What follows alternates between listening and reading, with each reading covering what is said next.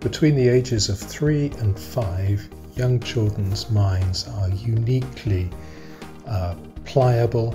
Uh, they are able to learn language in a fluid way uh, that leads them to rapidly become genuinely fluent uh, in, in multiple languages. Uh, it's a fantastic time of life when children are becoming the people that they will become as adults, and therefore the experience they get in school is so important. Uh, we want our children uh, not only to be capable, but we want them to be confident.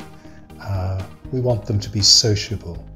We want them to be able to understand the world in which they have been born into and uh, to uh, love the life that they have and to love the people around them.